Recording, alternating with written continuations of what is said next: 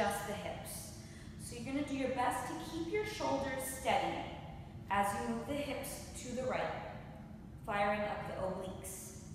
Yes, Yes. and then to the left. And then to the right. And to the left. In the next video, we'll link this action to the twisted crow. Hot.